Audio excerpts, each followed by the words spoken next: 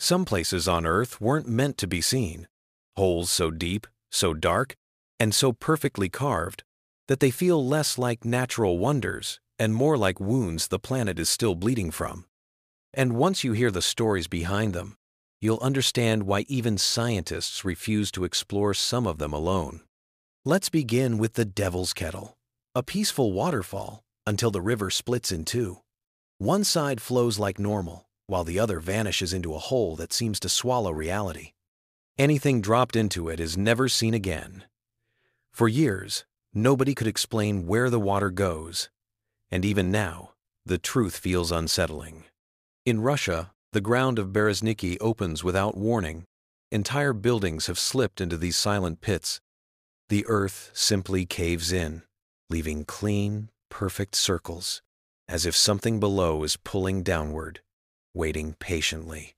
Far out in Belize, the great blue hole stares upward like an eye in the ocean. A perfect circle, deeper than any diver can safely reach. Inside are ancient formations that should not exist underwater. Whatever this place was, it changed long before humans arrived. And then there's the doorway to hell, a crater in Turkmenistan that has burned for more than 50 years. Flames roar day and night, and the ground around it trembles with heat.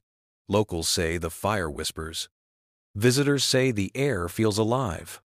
In the Bahamas, the blue hole of Andros hides sound in a way that unsettles even veteran divers. Deep humming noises echo through the darkness, as if something massive is moving beneath the water. No one has reached the bottom. In Guatemala City, a perfect circular hole once opened in the middle of the street, swallowing a three-story building in seconds. The edges were so smooth, it looked drilled, not formed. People still avoid the area at night. And in Siberia, the earth explodes. Huge craters blast upward from the frozen ground, leaving scars that look fresh and violent. Scientists say gas pockets burst beneath the ice, but the sheer force suggests something more powerful. In Egypt's Qattara Depression, giant pits stretch across the desert like footprints, deep, wide, and empty. The wind makes an eerie whistling sound as it moves through them. The area is so dangerous and so poorly mapped that almost no one dares enter. And in California, the Monticello Dam spillway called the Glory Hole creates a giant whirlpool when water levels rise. The sound is like a giant breathing in. Standing near it feels wrong, as if you'll be pulled in without a chance to scream. These holes, these craters, they remind us that the ground beneath our feet is not as solid as we think. The earth is alive, and sometimes it opens.